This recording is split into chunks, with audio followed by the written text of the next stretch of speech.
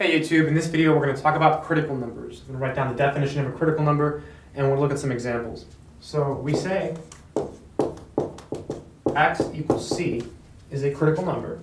So is a critical number of f of x if it is a number in the domain of f of x so it has to be a number in the domain of f of x such that, so a critical number has to be a number in the domain of the function. That's super key. So even before we define the conditions, that's kind of like a prereq. So a critical number has to be in the domain. So it's a number in the domain of the function uh, such that one of two things happens. Either the derivative is equal to zero at that number, or the derivative is undefined there. f prime of c is undefined. So a critical number is a number in the domain of the function where the derivative is zero or the derivative is undefined. Just for example, say you had 1 over x, right away you know that 0 could never be a critical number because 0 is not in the domain of the function. Or if you had 1 over x plus 2, right away you would know negative 2 could never be a critical number because it's never in the domain of the function. By the way, x equals 0 and x equals negative 2 are both vertical asymptotes.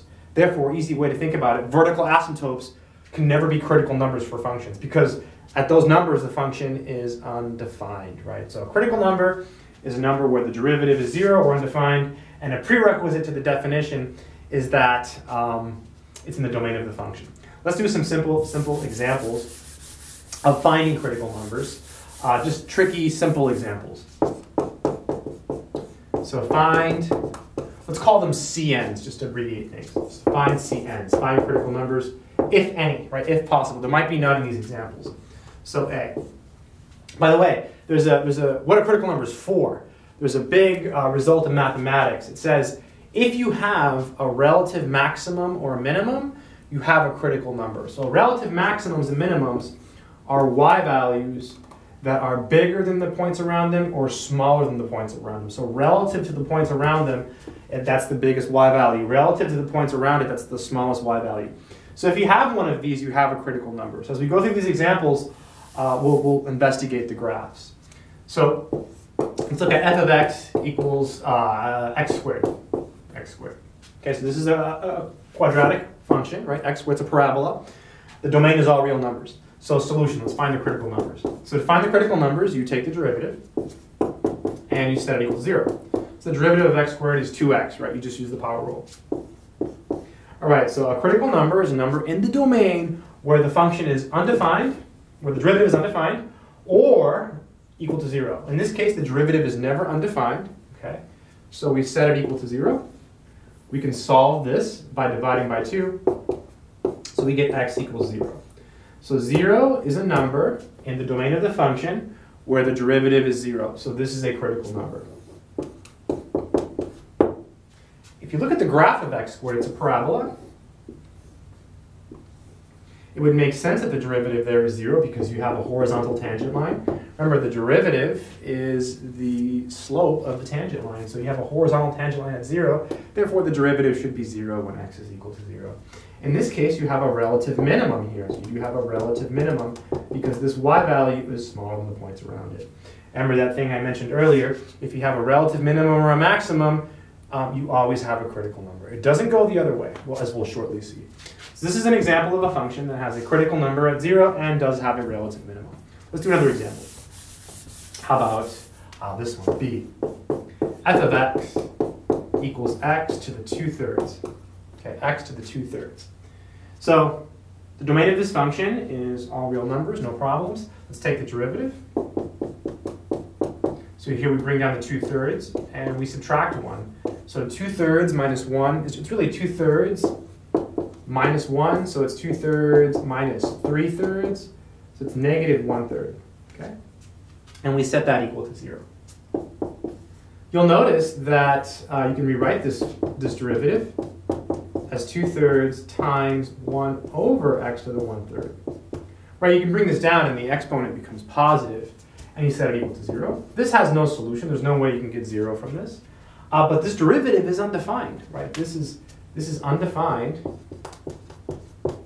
undefined at x equals zero, right? It's undefined at zero. And zero is in the domain of the original function. So this is actually a critical number. So x equals zero is a critical number.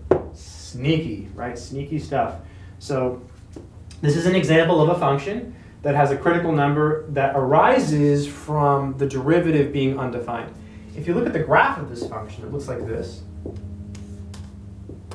So what is that? It's called the cusp. What's a cusp? That? it's called the cusp. Cusp. So you see, in this case, you do have a relative minimum, right? So you have a relative minimum.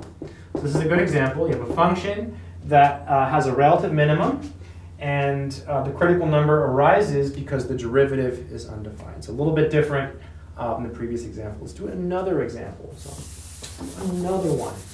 C. Let's look at this one. f of x equals um, 1 over x. So the domain here is all numbers except 0. So 0 could never be a critical number.